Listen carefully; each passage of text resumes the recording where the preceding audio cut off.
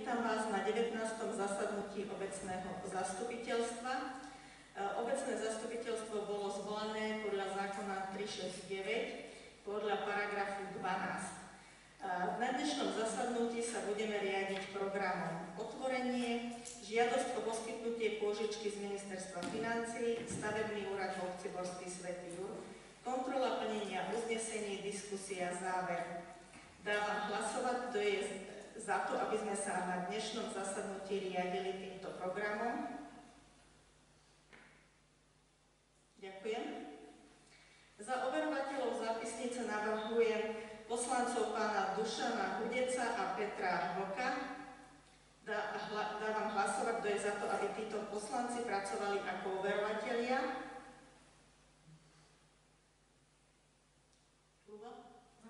Ďakujem. Zápisnicu vyhotoví pani Martina Sikorová.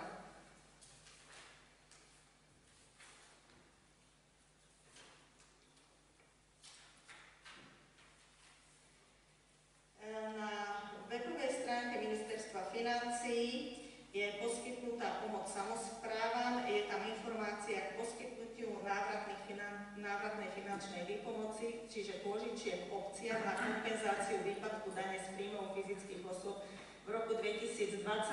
Dávam slovo predsedovi finančno-rozpočtovej komisie, pánovi Holubkovi. Ďakujem. Tak e, ja som pripravil za finančnú komisiu e, dôvodovú správu. Chcel som ešte poprosiť aj pani hlavnú účtovníčku, pani Macietovú, že by tam doplnila nejaké čísla. Viem, že čo sa týka úverov, naša obec je na tom e, súlade so zákonom, čiže neprekračujeme nejaký úverový rámec. Nebolo by to dobré v tej dôvodovej správe podchytiť. Poprosím som dodatočne, že by sme sa tomu povenovali, že by sme to nám doplnili. Prečítam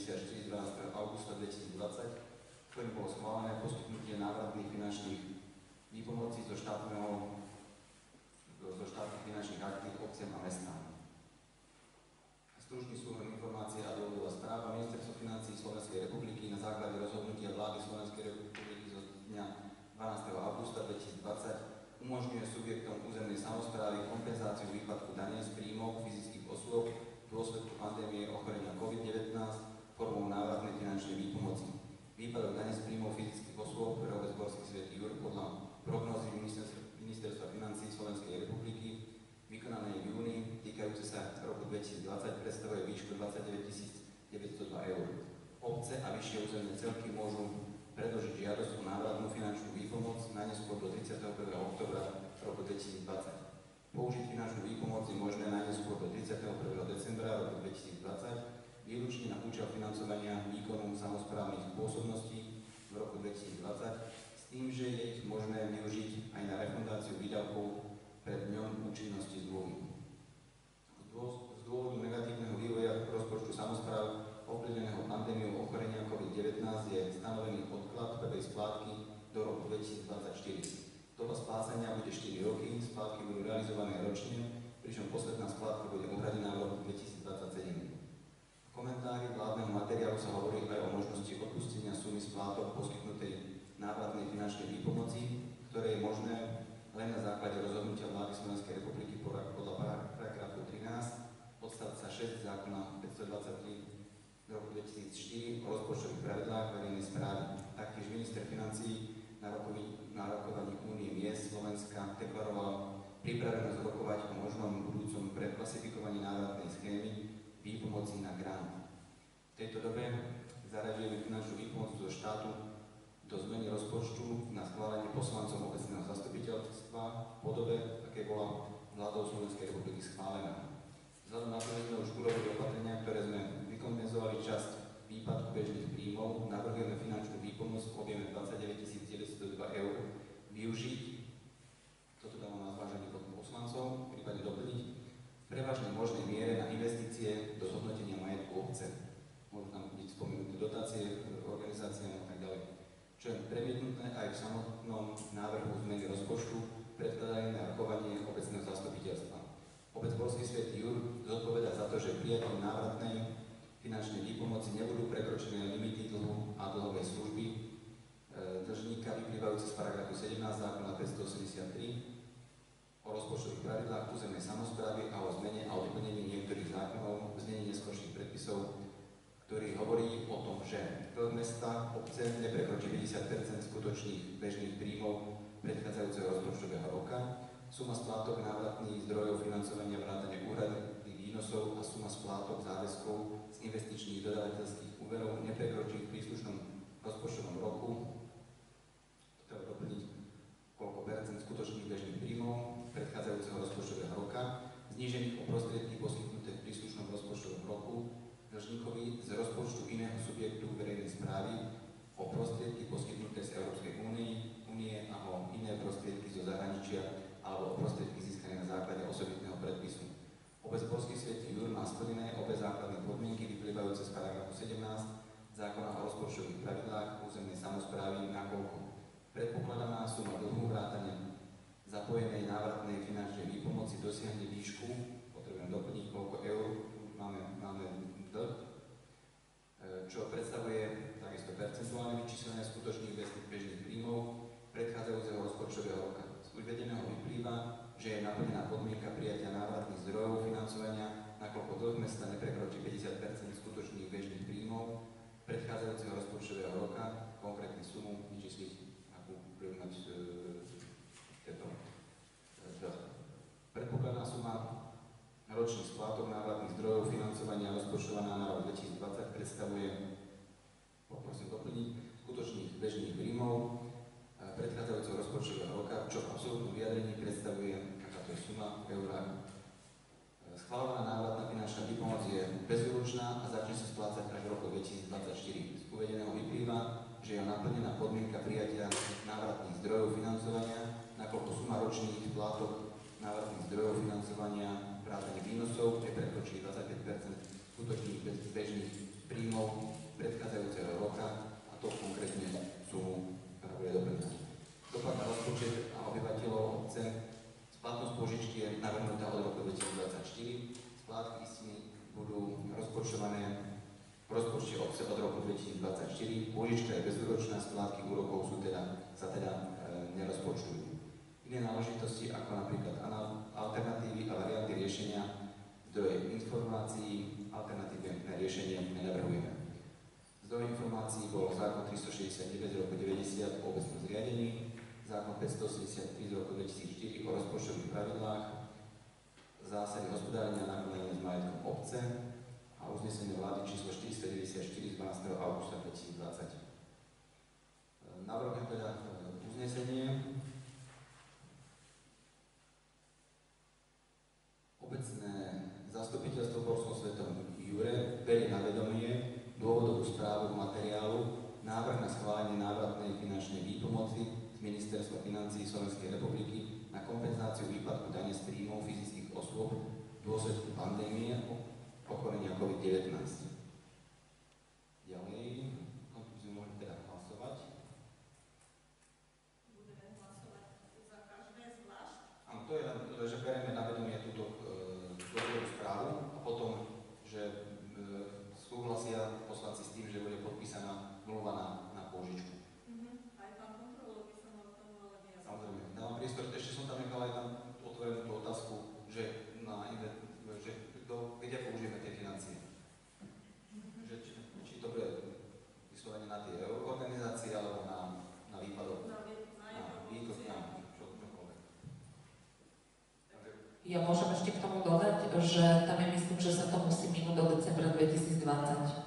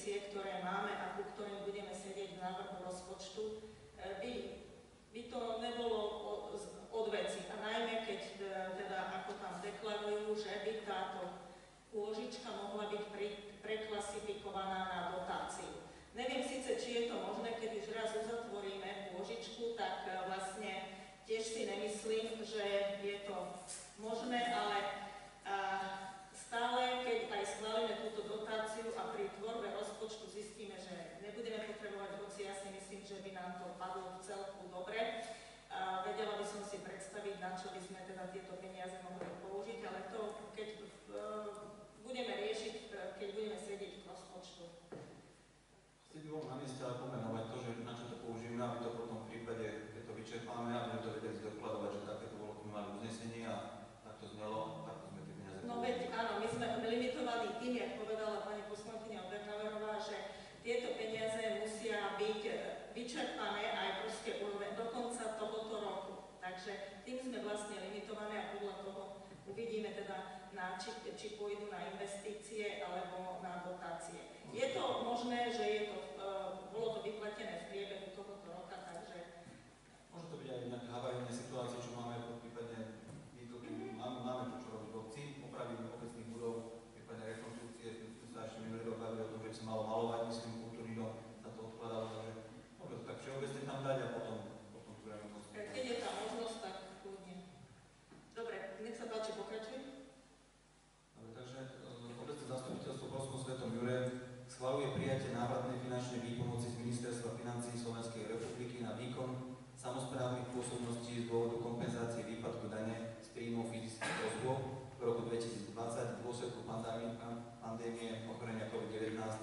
výške 29 902 eur.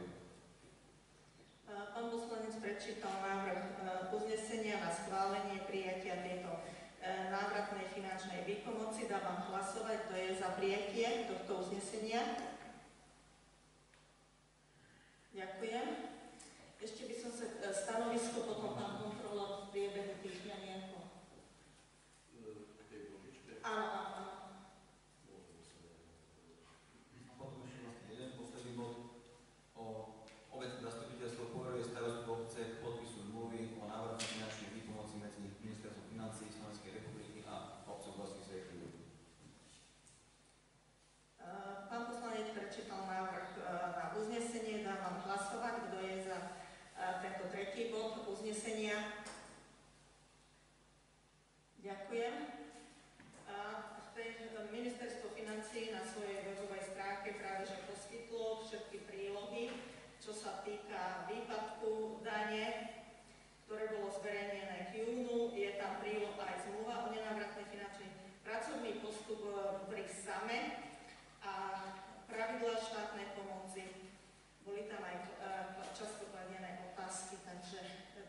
materiał węglowodorów w całku wyczerpywający. Sono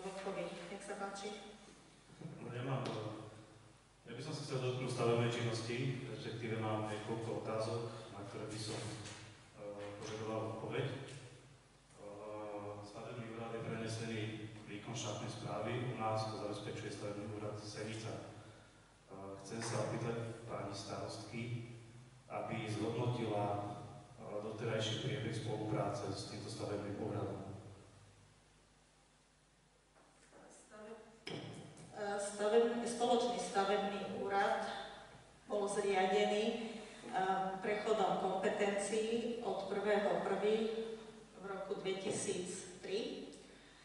Tento spoločný stavebný úrad v okresnom meste Senica zabezpečuje stavebnú činnosť pre 22 obcí, mesto Senica a potom pre ďalšie obce smerom na Mijavu. Čo sa týka spolupráce, musím konštatovať, že v poslednej dobe E, sa spolupráca zlepšila. A, a stavebný úrad má zamestnaných 5 pracovníkov, 4 sú s vysokoškolským vzdelaním, jedna pracovníčka je administratívna.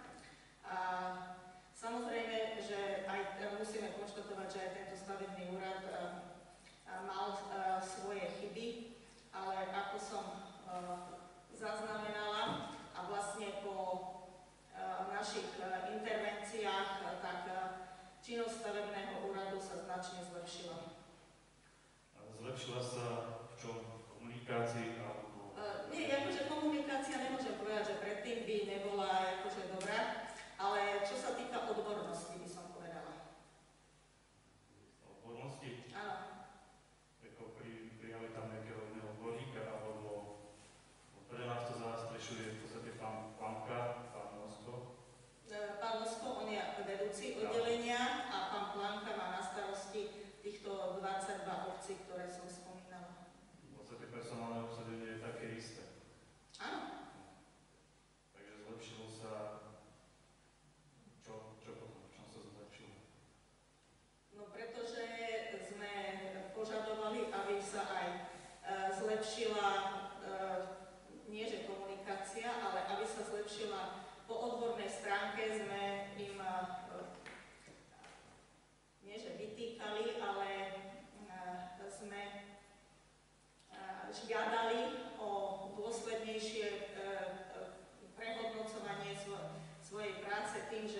pri štátnych stavebných dohľadoch alebo po upozornení o Trnavským samozprávnym krajom, že sme žiadali, aby, tá, aby teda tá komunikácia bola promptnejšia toho času. Môžem povedať, že za tie dva mesiace sa to zlepšilo.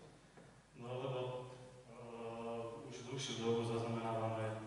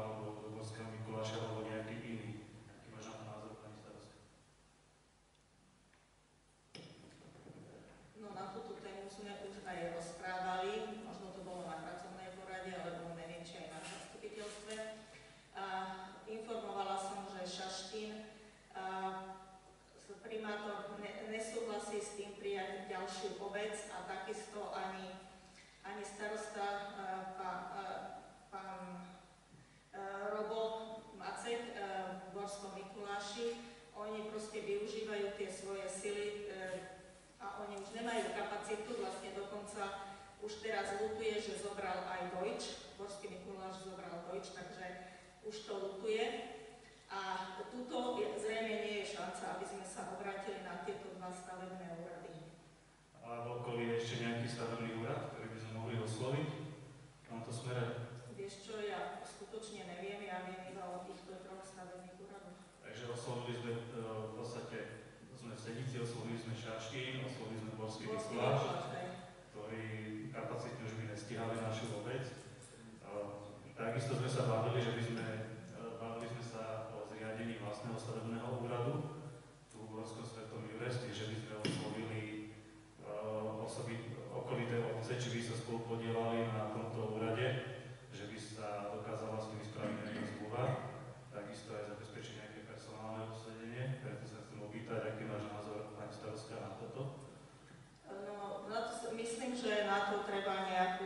širšiu diskusiu a e, osloviť tie obce. My sme sa nezávisle tak bavili medzi sebou, samozrejme, keď e, človek sedí na nejakej pracovnej porade, tak e, všeličo z toho vzíde. Ale čo sa týka e, týchto vecí, to, podľa mňa mali by sme toto rozobrať na pracovnej porade, e, spočítať si náklady, ktoré máme teraz, ktoré by nám vznikli potom. Asi, ja si myslím, že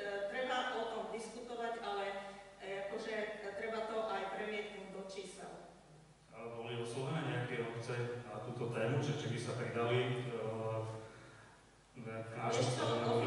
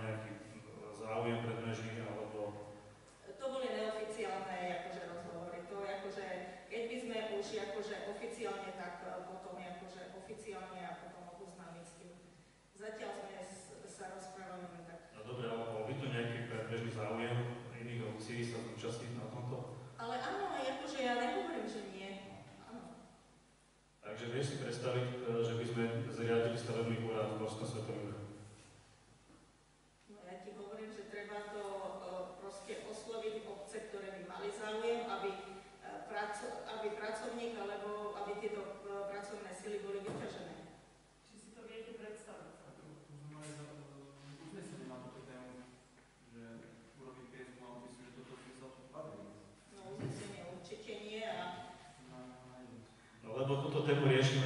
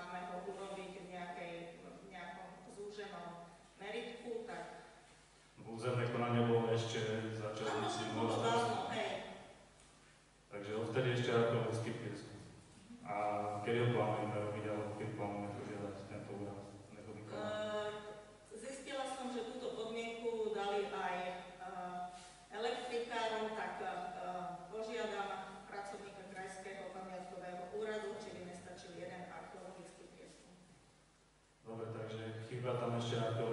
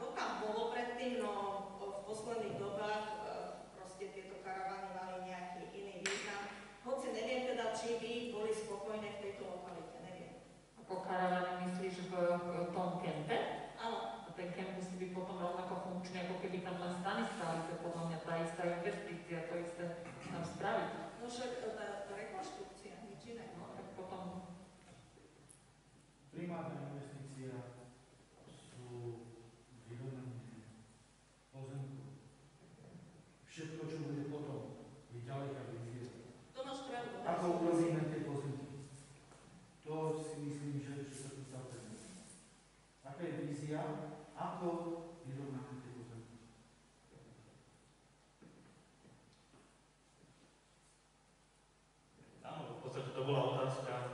Eh, takisto, jak je vízia nejakej výstavby obce, my sme navrhli nejaké vízie, eh, rozširovanie obce,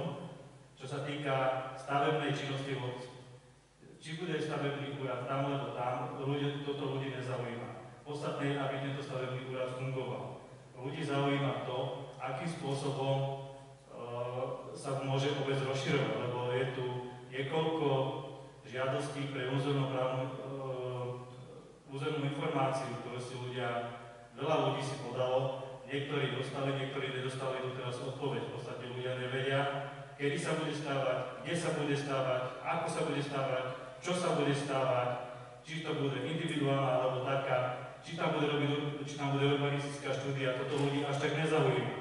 Ľudí zaujíma to, či bude nejaká výstava v obci.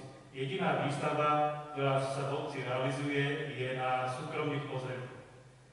E, Výstavba na obecných pozemkoch, jediná výstava alebo jediný projekt, ktorý tu kedy bol, je IBV príhejsku. Tento projekt je ešte z čias bývalého starostu. Dote- Odvtedy ubehlo strašne veľa času, e, x rokov a tieto pozemky stále stoja. Preto sa pýtam, to bola ďalšia otázka. Čo plánujeme robiť s týmito pozemkami? Kedy sa tam začne výstavba? E, teraz sme dostali informáciu, že treba tam archeologický prieskum. E, neviem. to bol hydro, hydrologický. Táto požiadavka to bola ešte v roku 2008, bolo povedané, áno? Či kedy to bola táto požiadavka? Ešte pri, pri uh, Územnom konaní. Územné konanie sa robilo ešte v tej dobe, keď tento projekt začal. Uh, na tomto, na tomto území ešte doteraz nebola vytvorená. Minul, minulé zastupiteľstvo sme riešili, kedy sa tam dotiahne elektrina. To bolo ďalšia vec, ktorá sa riešila po ja neviem koľkých x rokoch a teraz uh, ľudí, zau, ľudí nezaujíma, kedy, či tam je archeologický výskum, či tam je elektrika. Ľudia, ľudí zaujíma to, kedy sa môže konečne stávať. Túto otázku ľudia doteraz nedostali. Nedostali otázku na to, ako si obec predstavuje ďalšiu výstavbu, aby priťahla mladé rodiny a deti do tejto obce, aby nemuseli od- odchádzať z obce preč a stávať niekde inde. Na toto, sa, na toto žiadajú odpovede obyčajné tejto obce. Túto odpoveď znovu nedostali. Ďalšie otázky boli typu čo s kempom. Uh, dva roky tu riešime kemp. Uh, sú tam nevyrovnané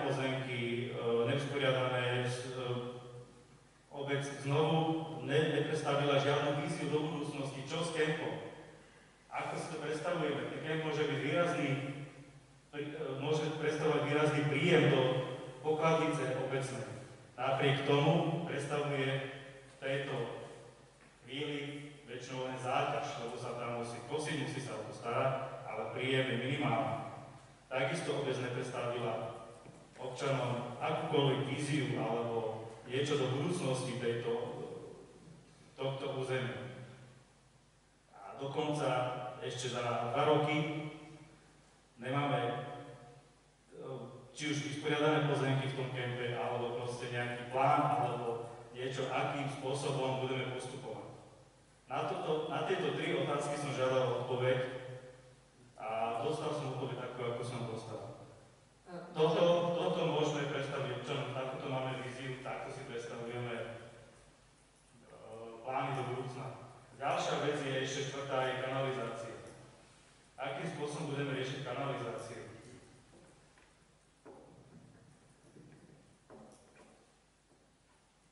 Kde sme pokročili odtedy? Lebo toto sú zásadné otázky, ktoré trápia, trápia občanov. Netrápi ich, či tam bola vypracovaná štúdia, nebola, či to, toto. Toto sú o- otázky, ktoré kladú ľudia. Výstavba, kanalizácia, čo s kempom. Tieto tri veci. No samozrejme, že e, tak, jak sa poslanci vyjadrujú, tak ja postupujem aj čo sa týka v, ka- o, v oblasti kanalizácie.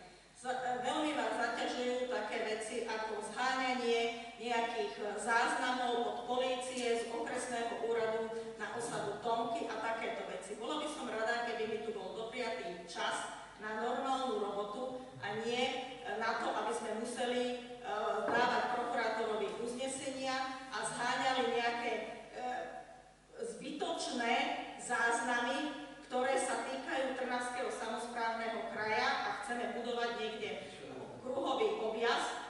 Takže toto mňa zaťažuje. Toto je otázka na, teda odpoveď na otázku, s kanalizáciou.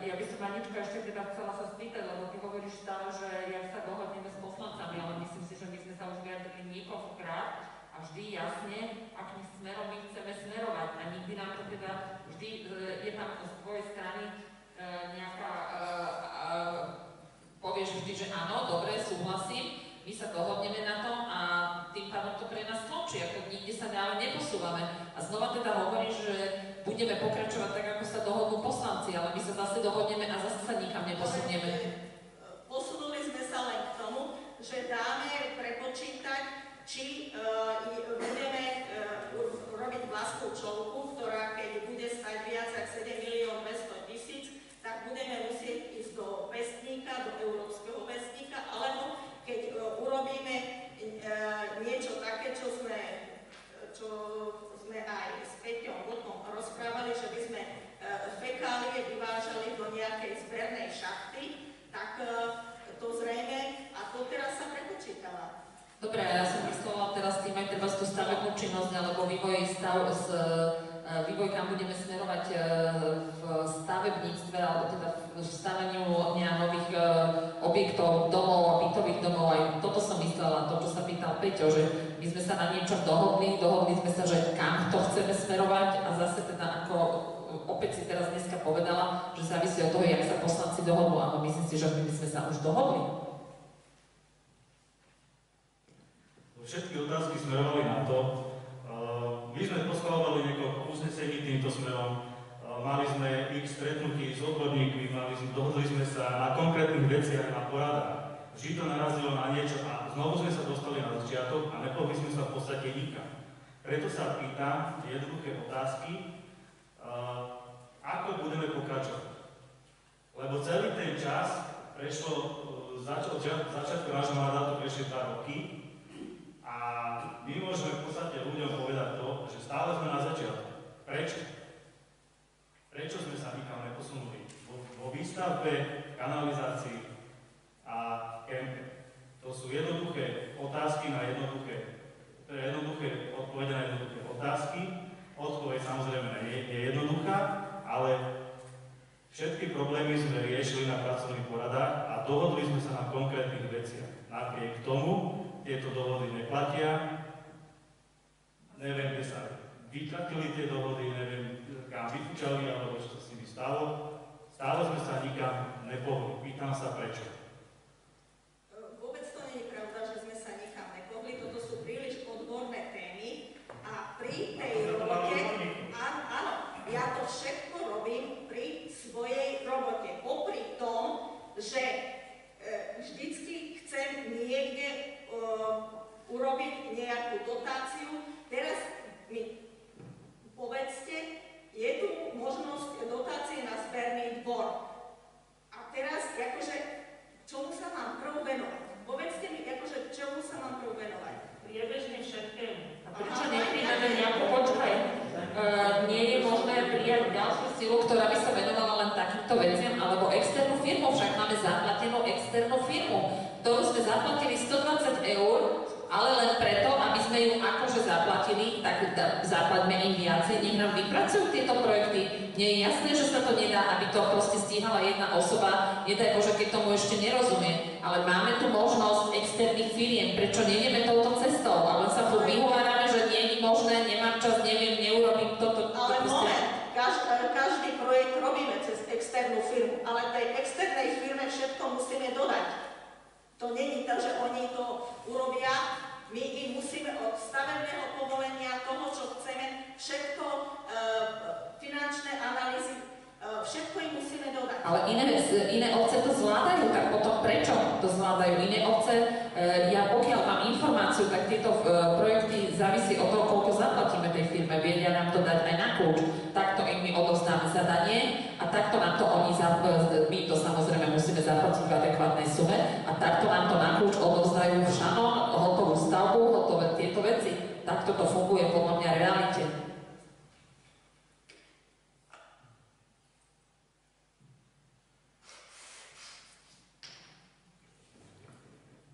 Koľko projektov je urobených? Ja som vás konfrontovala po minulé zastupiteľstva s tým, že som našla faktúry na nejaké projekty za 500-600 eur, nejaká firma, možno Gemini Group, možno nejaká iná. Pýtala som sa, aké projekty sa robili, čo sa v tých sumách robilo. Nedostali sme odpoveď. Kde sú tie projekty, prečo tie projekty, keď sú urobené, máte ich... Marta, prosím vás. Počkajte, keď sú napríklad hore v šuflíku tie projekty, že nás nevybrali niekde, alebo sme nič nedostali, prečo ich nedávame zase stále a stále do nejakých víziev, alebo... Ale prvá výzva musí byť vyhlásená. Ja vás vždy informujem, áno, sledujem. Teraz som vás informovala, že do 12. decembra či do 20. decembra sa dá podať z Envirofondu na zberný dvor. Takže proste e, aj A to, čo bolo minule na zberný dvor, to sa na čo minulo? Už bola nejaká dotácia na zberný dvor?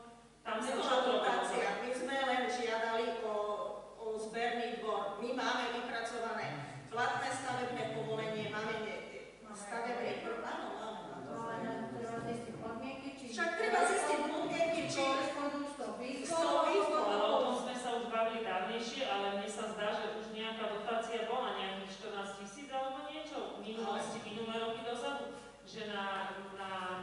vybavenie zberného dvora na niečo také bolo. Určite som niečo také zachytila. No my sme žiadali, samozrejme, že sme žiadali. A ste nedostali? Nie, nie. Čiže zase bol tam už vtedy urobený možno nejaký projekt? Však hovorím, že my máme projekt urobený, len ho musíme... Ale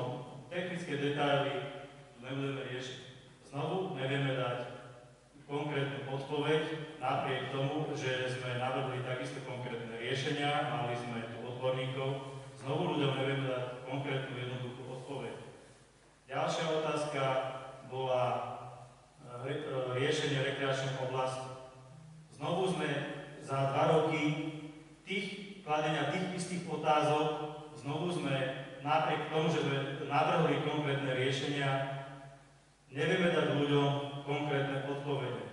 Ako bude vyzerať kemp, ako sa bude rozvíjať rekreácia. Toto no je ja, v podstate... ja som nepočula, že by sme my rozprávali o konkrétnych riešeniach. Rozprávali sme o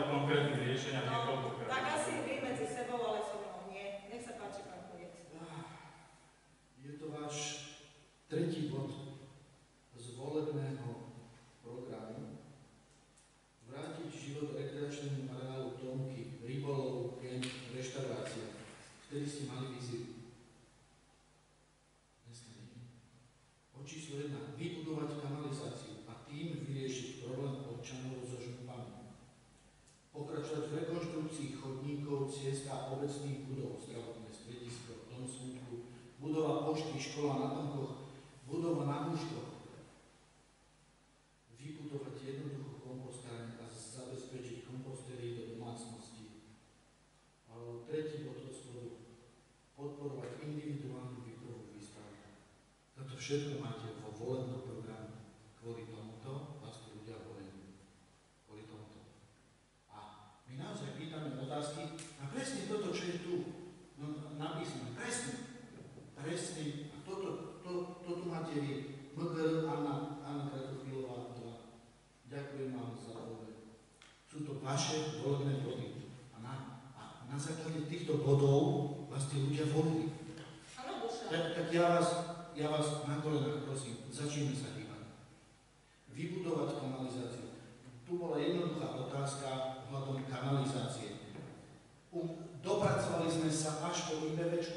po cestu, ale konkrétnu odpoveď ku kanalizácii sme sa nikto nedozvedeli. Tak ja fakt absolútne netuším, ako chceme vrátiť život rekreačnému a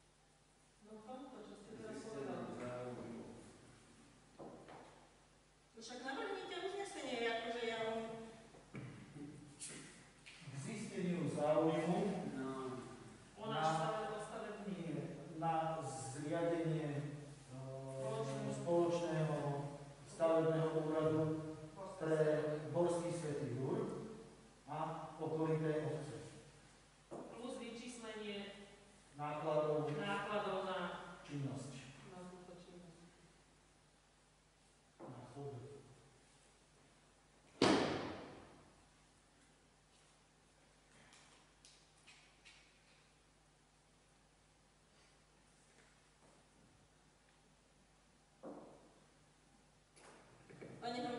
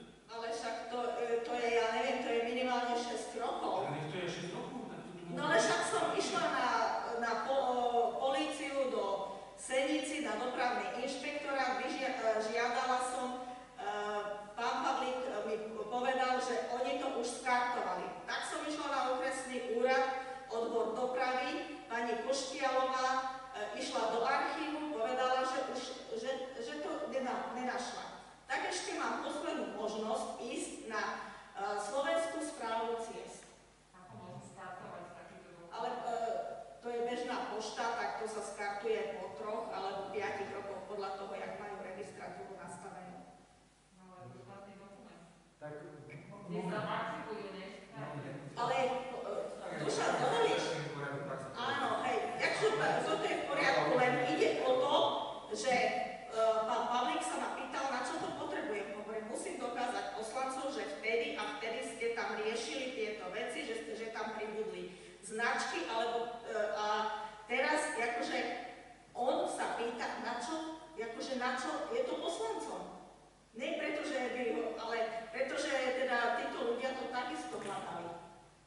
No na to nám to je, No. že tam sa riešili nejaké, proste nejaké riešenia, ne? Kruhový objazd. Ne, ne, ne, Takéto návrhy, takéto návrhy boli, ja si pamätám.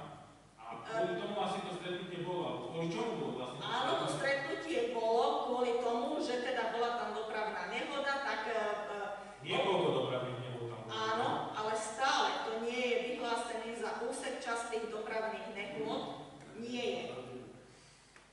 Nie. Keby to bol úsek častých dopravných nehôd, tak musí tam byť do roka aj na tom istom úseku 10 nehôd. Takže oni takýchto úsekov majú Vtedy sa pristúpilo, proste vyšlo sa v ústrety občanom osady Tomky, tak sa tam zvolalo toto stretnutie a riešil a odvtedy sú tam tie dopravné značky, ktoré tam sú. Ale zjavne spokojní s tým nie sú, keď stále dávajú nejaké podnety, že ak by sa to malo riešiť, ne? Tak nie sú asi spokojní s tou situáciou, ktorá tam je.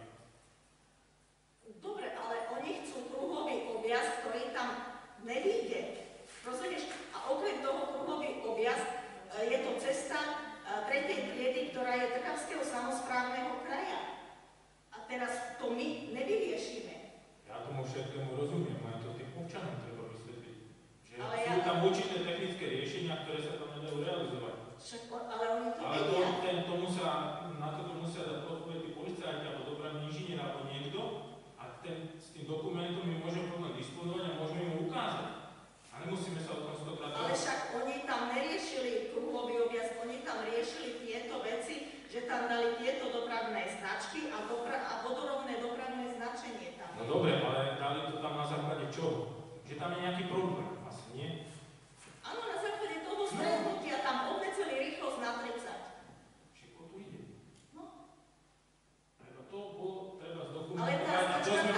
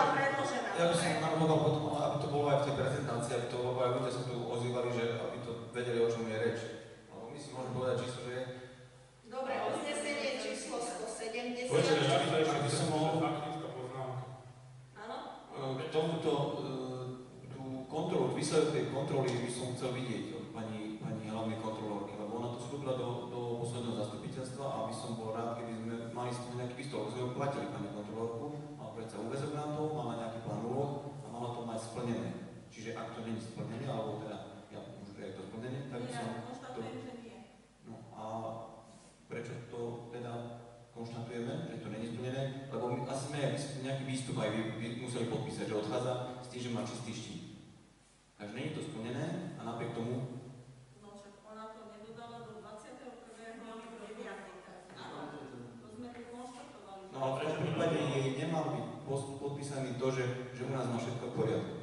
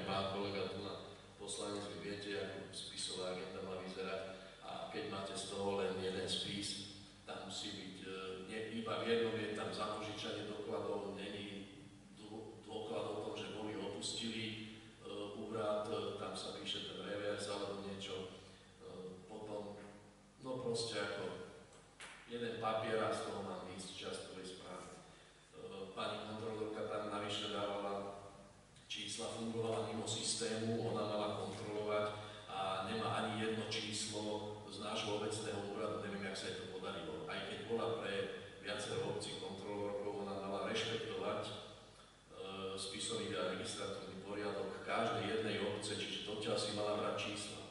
Ona mala nejaký svoj vlastný koncept a preto sa aj pri odovzdávaní, keď sa obrálo, tak ani sa nevedelo, koľko má veci rozrobené.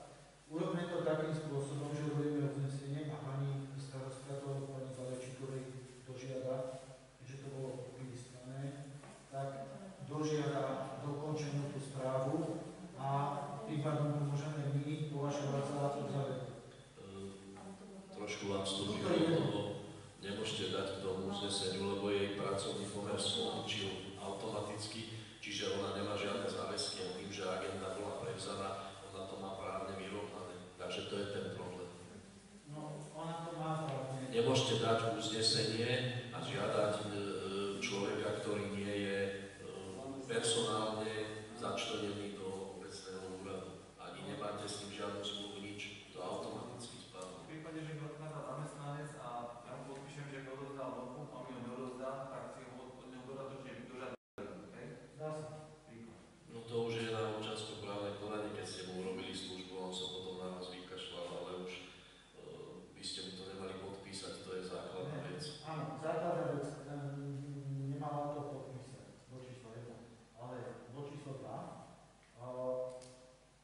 ako teraz z toho von?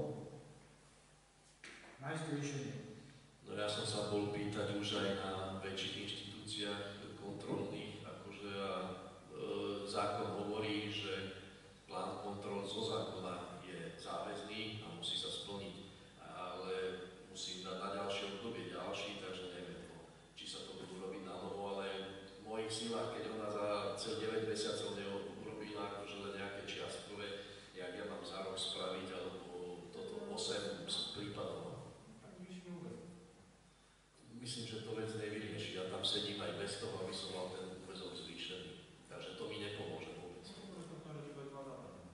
Mas tá usando. Ou não sabia como é que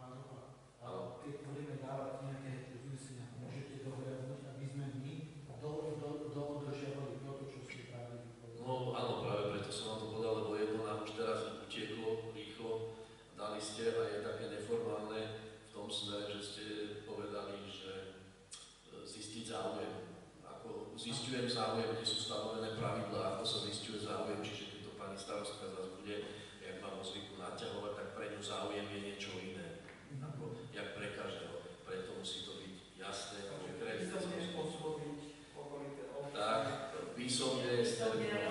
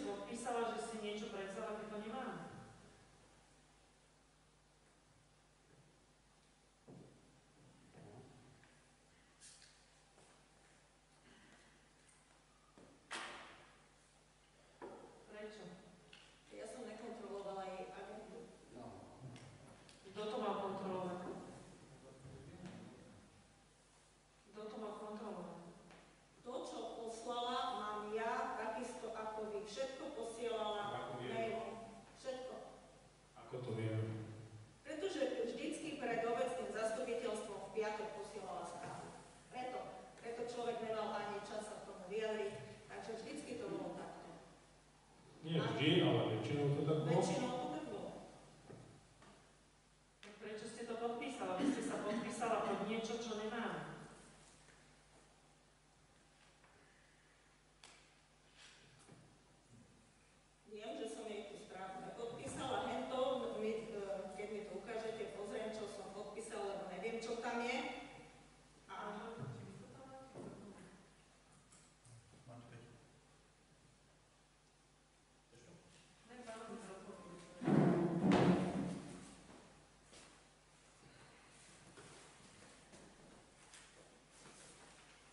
ste niečo dosť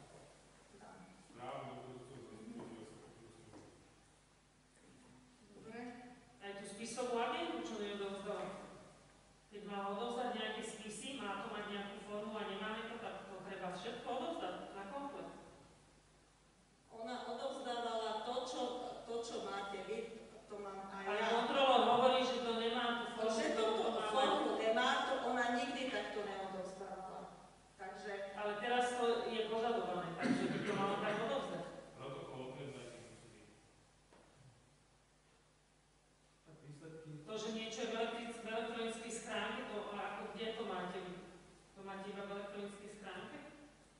Nie, ona cez elektronickú, ona mailom posielala. Dobre, a keď to vyjde mailom, tak aký je postup? Sa to pošle Obce... poslancom. A sa. Nemalo by sa to náhodou vytlačiť, zaevidovať riadne. Je to tak spravené? Takéto všetky tieto mailové jej komunikácie, čo sú z obcov.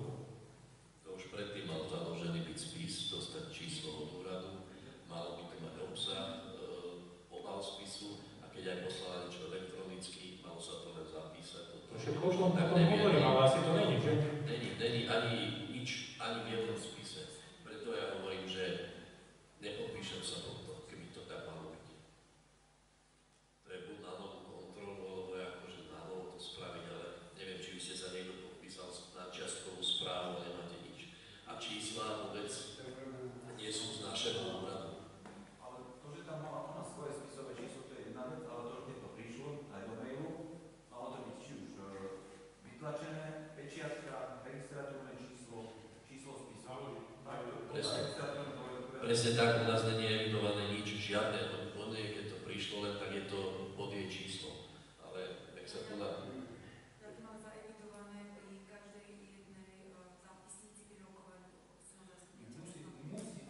skúsiť samostatný spis a všetko. Ktorý vychádza na úrad, ale odchádza na úrad evidenčné číslo, číslo záznam. Poprosili by som skúsiť to na toto dbať a asi aj v tomto smeru budete rozprávať kontrolu, že akým spôsobom sa eviduje prišla a odešla pošta. Som tam pozeral, neviem, nedávno sa to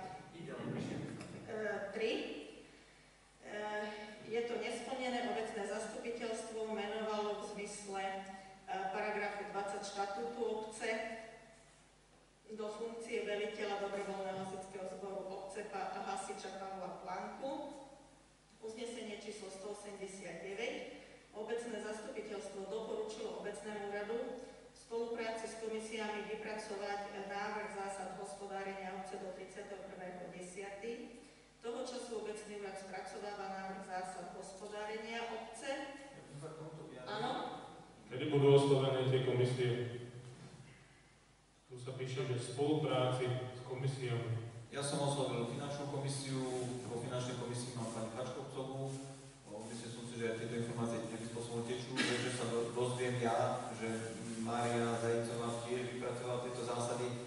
Ja to mám v jednom adresári, mám tam zdieľaný dokument, zakúpil som aj vzor týchto zásad e, cez zákon.sk, takže pracujeme na tom. Dneska hovorím, som písal s Máriou o tom, že v podstate aj ona vypracovala, spojíme sa. Dneska som sa takisto dozvedel, že nejaké zásady tu vlastne aj boli, čo je tiež novinka pre mňa. počkaj, ja, ja, že ja, Z roku 2010. Áno, však tie Zásady. hej? Takže Je sa to na ne odvolávali, keď nejaké pozemky kupovali, teda respektíve predávali alebo prenajímali a nikdy som nepočul o tom, že zásady existujú. Vždy sme počuli iba to, že ich treba vypracovať, aj od Nie, kontrolóra. nie, nie. Aby bol jednotný postup. Ne, To sme my sme počuli. zásady mali, len e, kontrolórka navrhla vtedy, keď sme sa tu e, doťahovali kvôli e, týmto spoločenským organizáciám, kvôli, že aby sa vypracovali sa hovorí o vypracovaní nových zásad, ale tieto e, z roku 2010 boli vypracované a majú jeden dodatok. Takže ja vám posuniem informácie pre komisie na doplnenie týchto zásad. Spolupráci aj s Máriou.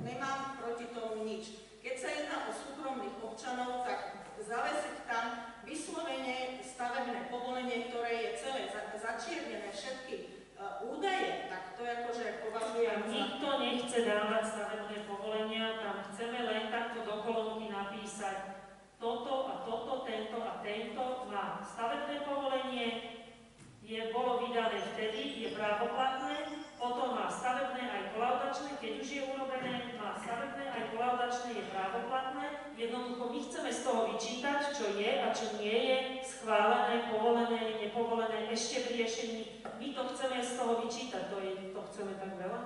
Však práve to vám tu hovorím, že to meno, priezvisko, e, to, to ale stačí. Ale ne, to práve musíme zači- zaškrtnúť. Takže o to tu ide. Tak preto sa to riešilo asi takýmto oznámením. Dobre, Novopakujem, ale sa tie právoplatnosti. Znovu opakujem, pôvodná myšlenka bola transparentnosť. Akým spôsobom to bolo splnené, nech si každý, či už my, alebo aj občan, spraví obraz sám. Takto sa a veci. Poďme ďalej. Uznesenie číslo 213 v evidencii obecné zastupiteľstvo poverilo obecný úrad uh, o vybavenie personálnych vecí a to odvolanie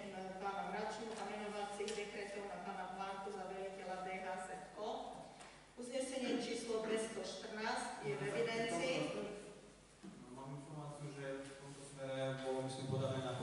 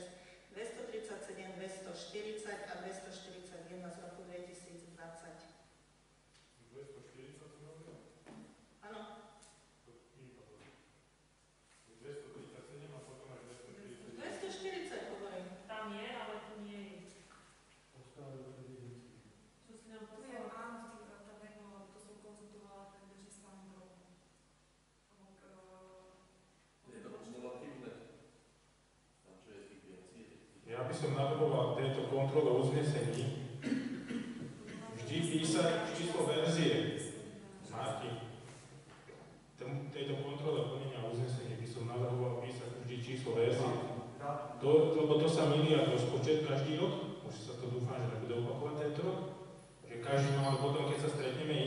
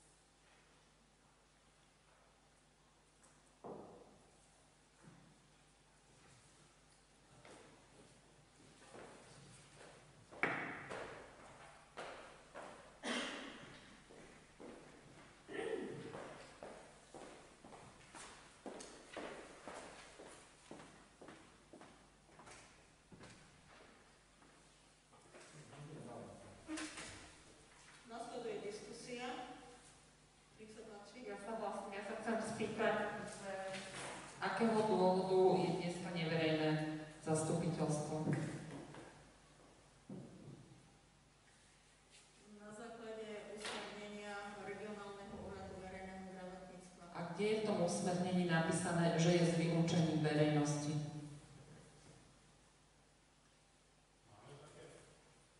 Je dostupne všeobecne, tie odporúčania sú všade na webe, je tam napísané, není nič nové. Je tam, niekde není napísané, že je s vylúčením e, verejnosti, je tam napísané, že príkazy a zákazy sa nevzťahujú na, a teda patrí tam aj verejné obecné zastupiteľstvo, ale nie je tam napísané, že je s vylúčením verejnosti. Neviem, z akého dôvodu je dnes neverejné Zastupiteľstvo. obecného zastupiteľstva sa môže konať, ale bez fyzickej prítomnosti verejnosti. kde to je napísané. V maili. Od koho? Úrad, regionálny úrad verejného zdravotníctva. Môžeš nám ho prosím ťa preposlať? Áno. Kedy ti došiel? Dneska 12.49. Prosím, o preposlanie, ďakujem.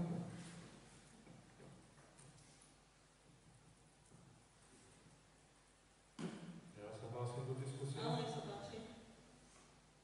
Takže ja som zachytil e, na internete aj v médiách, že ministerstvo školstva, vedy, kultúry a športu bude poskytovať obciam alebo teda zriadovateľom základných škôl, materských škôl, dotácie na obnovu nejakých jedální a to napríklad kúpou nejakých umývačiek, konvektomatov, chladiacich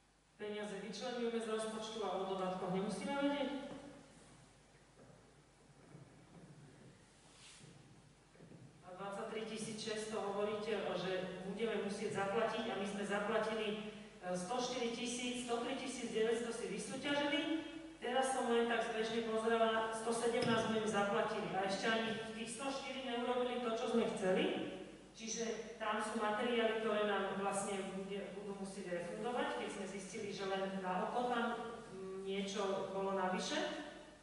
E, v streche tá vata nebola jednoducho, to si povedzme. A my sme zaplatili 117 a ešte ideme ďalšie peniaze platiť, tomu nerozumiem. Tam tie veci sú odsúhlasené, to vám bude dodané, takže tie čoky sú odsúhlasené a dovolili si vystaviť ďalšiu faktúru. Na čo? Keď nie je vyučtované jedno, prečo už vy idú vystavovať druhú? Ja netvrdím, ja hovorím, že to bude rozpočet, to nebude faktúra, to, čo e, budete schvalovať, že sa tie, či sa tie práce spravia, či tam budú nájazdy alebo nebudú. To, to bude len v rozpočte, to nebude faktúra. A vyvíja tu niekto aktivitu, aby sme sa stretli, aby sme to doriešili? Áno, samozrejme doriešime jednou, ale ideme ale na ďalšie. doriešime? Keď už Pri... malo, malo to byť do septembra, teda ako hovoríte, to koľko dodatkov ešte budeme podpisovať? No pokiaľ to nebude hotové, takže. No tak pokiaľ niekto nevyvinie aktivitu na to, aby to bolo hotové a nedá vyúčtovanie a nevysvetlí, že o čo tu ide, tak asi dovtedy to tu budeme kúľať zase pred sebou a hasiči nebudú môcť používať tú hasičnú na na ktorý je postavený.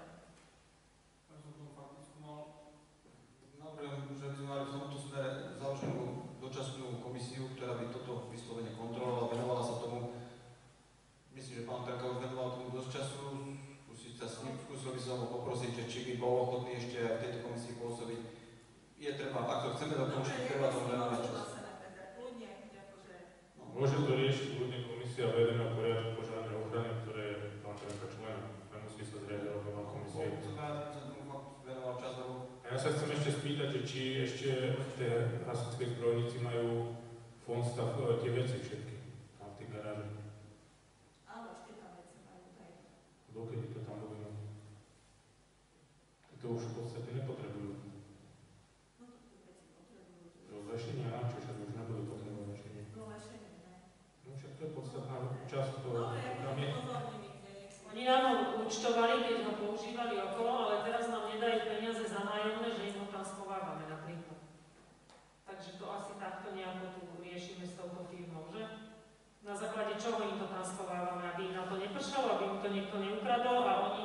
oni nám neodpustili nič, ani euro.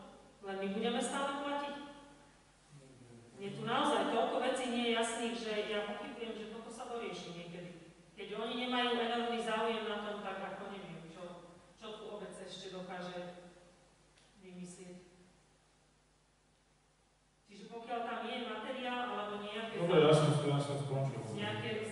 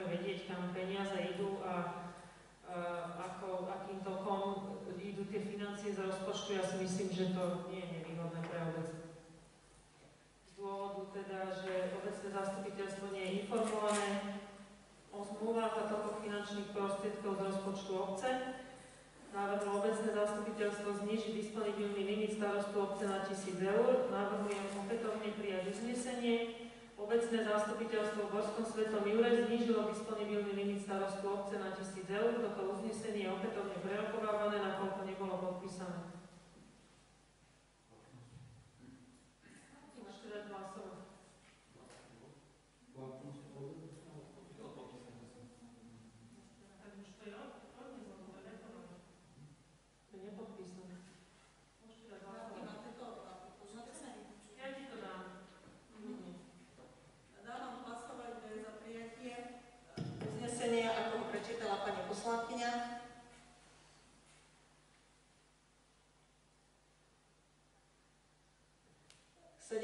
So is a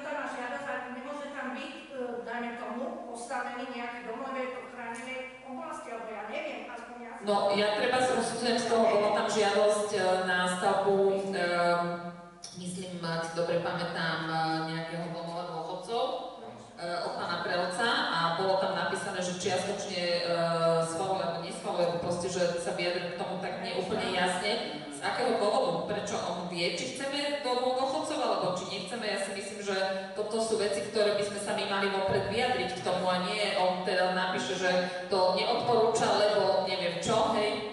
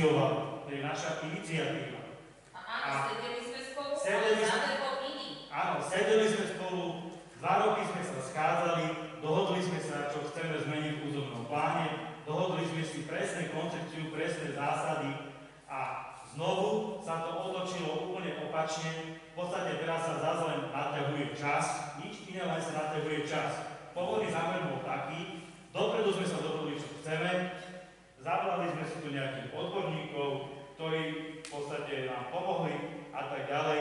Dopracovali sme sa k nejakému záveru, ako bolo verejné obstarávanie na zhotoviteľa, že sme o to nemali ani šajnu, ani o zadaní.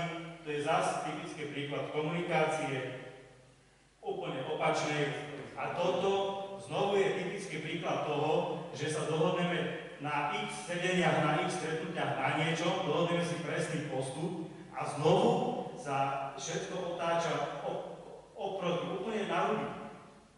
To pôvodný zámer zás to není splnený. My sme toto všetko iniciovali kvôli niečomu, aby sa tu rozbehla výstavba. Ale výstavba taká, taká, taká, taká. Tu chceme to, to, to, to. Toto všetko sa teraz dozvedáme ako. Pán Vánoš niečo vypracuje, odpoveď sme po- počuli. Uh, Niekto niečo vypracuje, urobí z toho analýzu a my si máme tú analýzu potom prejsť a ešte to vyhodnocovať druhýkrát na základe toho, či to chceme, alebo to kurva je, alebo to nechceme. To som hneď hovoril na začiatku toto. toto je typický príklad riešenia veci, Jure. Jeden príklad za všetky.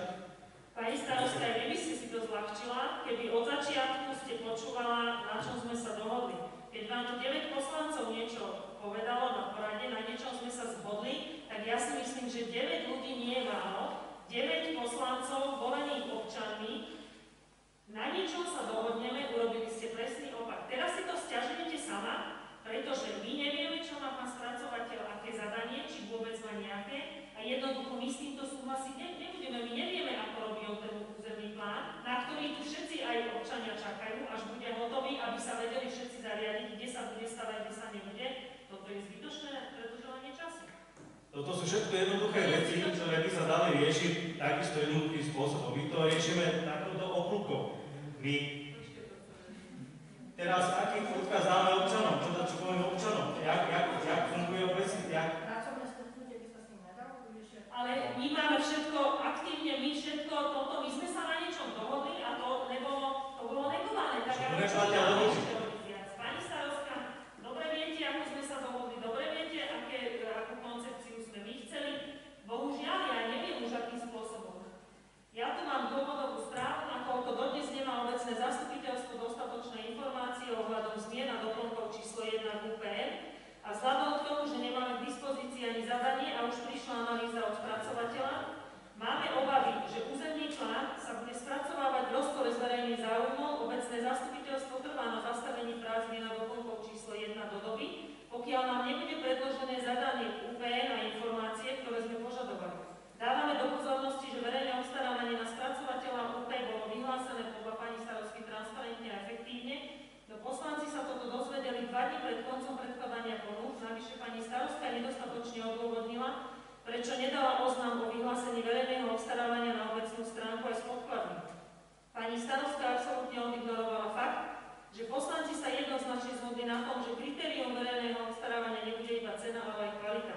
Preto navrhujem prijať uznesenie, obecné zastupiteľstvo v Borskom svetom Jure odporúča obecnému úradu zastaviť práce na zmenách na doplnkoch číslo 1 UPN do doby, pokiaľ nebudú zo strany obecného úradu dostatočne vysvetlené postupy, koncepcia a predložené zadanie.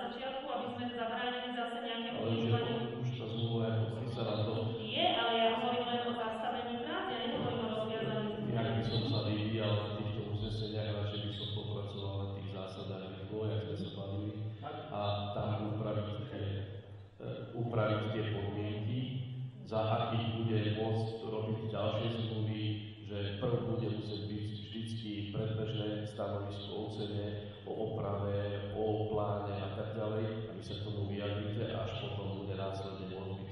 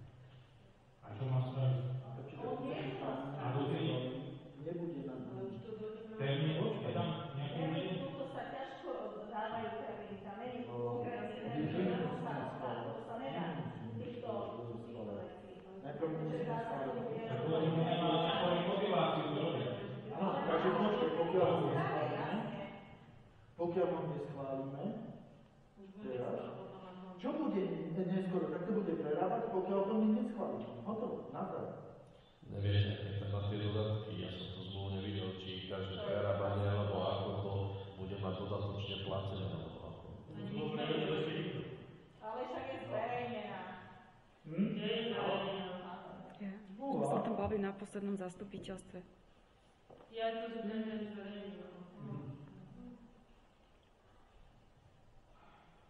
Takže čo s týmto?